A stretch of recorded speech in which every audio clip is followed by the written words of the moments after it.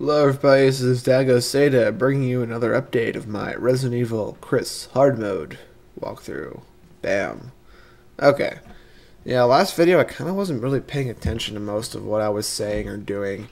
I feel like I've said before in the past that yeah, I'm usually more awake and stuff when I'm tired or something, something like that. I say like, oh, my commentary is always so much better when I'm tired. Yeah, so it's at the point where I was so tired it doesn't even like benefit me at all. In fact, it actually probably made it worse. But I I, I apologize. In um, yeah, so you'll probably be watching this after the last part. So yeah, apolog- apologize for any uh, bizarre thing I may have said that may have thrown you off. Actually, not. I kind of think of it, it probably wasn't that bad. But okay, so we're going in here armed with the other um, gem, the yellow one. Now, usually the way I do this, I, I slightly changed my route going about the mansion in the second run through to like a, a way that I don't walk by the blue gem on my way over here. So, yeah, if you use put the blue gem in the other eye, you get shotgun shells, and I actually didn't need the shotgun shells, but just let you know that's an option. So you can do that if you want some shotgun shells. And on hard mode, you might want some more. I mean, I, I said I don't really use the shotgun very much, except for when I kill stuff. Okay, yeah, I, I'm lying. I use the shotgun all the time, but I didn't use it enough that I ran out of ammo at any point in the game, and I had myself swimming in shotgun shells by the end of the game here. And I am so glad that didn't hit me. That would have really sucked.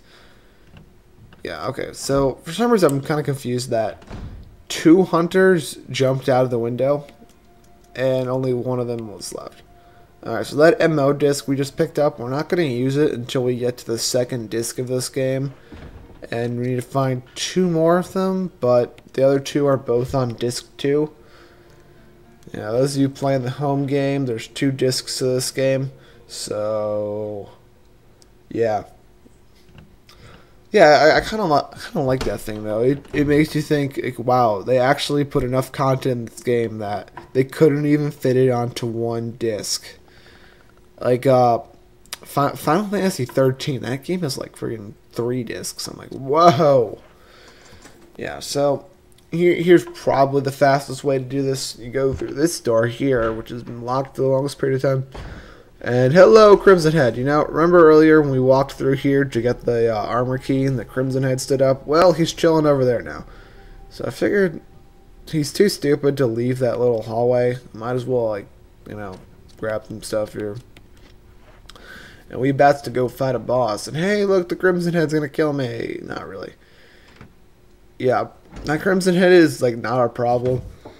And that's pretty much, other than Coffin Henry, the only Crimson Head that you can't avoid.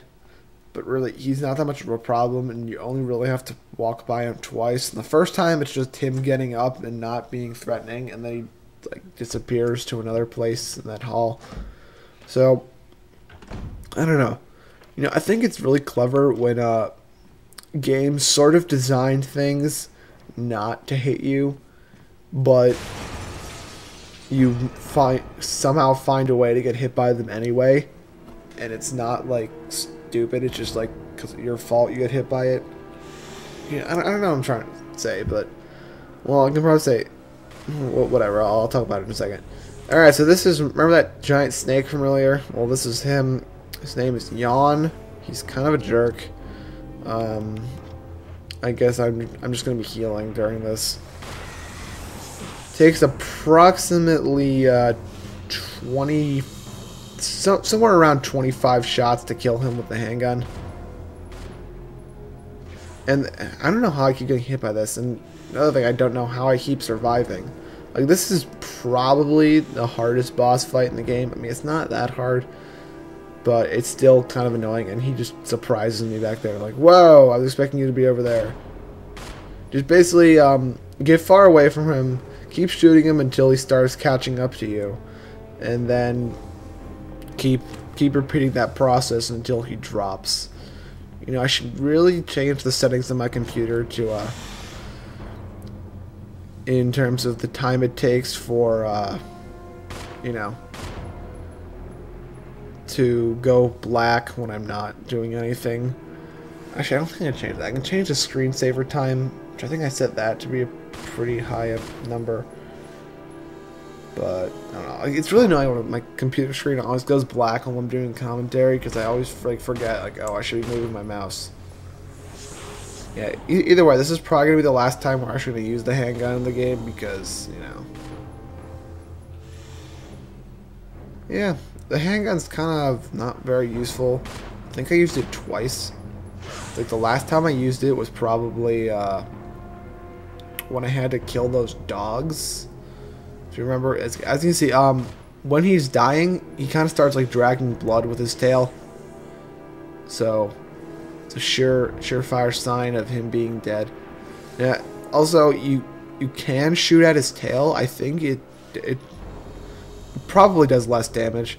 But he also moves much more slowly in this situation, so I'm just gonna keep keep shooting until he dies.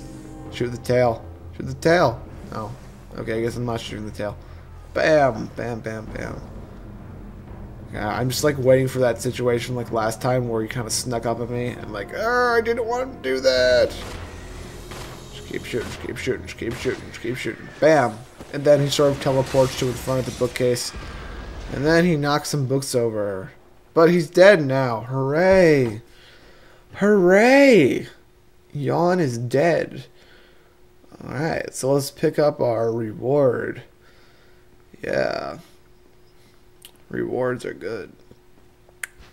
Here's Last Book, Volume 2. I think that's hilarious. It's like, oh, this is the last book. Second volume! Because in the original game, they were called the Doom books which I actually didn't know that until I basically saw it in Narb's Let's Play of the original game. But yeah, one of these days I'll beat the original game and I'll actually know what's going on. But Doom books, they said, hey, let's change it to last book. But there's two of them. There, people are confused. Like, why is there a second last book? And then, you know, and then that'll probably be like the stupid intern who asked that question, and they'll get fired. It'll be so funny.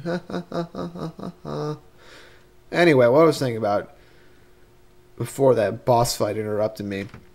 I thought of this when I was playing uh, Touhou 11, or felt like one of the bosses attacks. I'm like, wow, this is almost like this is designed not to hit me. But then again, you'll be looking at it and you'll think, crap, this is going to hit me. So you'll try to dodge it anyway. But what ends up happening is you end up screwing yourself up because you were just fine standing right there. You know what I mean? So it's it's an interesting tactic that uh, game makers can put in, can do when they're making their games. You know, I've, I I'm fond of that tactic very much, and it's it throws you off guard, and it's just fun. You know, you know I like fun. fun. Yeah, speaking of the Touhou games, um, I finally managed to actually beat one of those. I usually suck at them. I beat two of them actually. I beat uh, the fourth one and the seventh one. Yeah, there's 13 by the way. It's numerous spin-offs. Okay, so that hallway right there that we just came out of. I don't. I'm not entirely sure what triggers it, but if you do the things in a certain order, I think it's like you kill Yawn first and then come outside or something like that, you can trigger a red hunter coming out of the door. Now the red hunter is looks kind of like the poison hunters in Code Veronica, except it doesn't actually do anything. It's just red, and it's kind of startling. I mean, I I've only tr- actually managed to trigger it once or twice, so you can imagine the shock in my, in my expression when.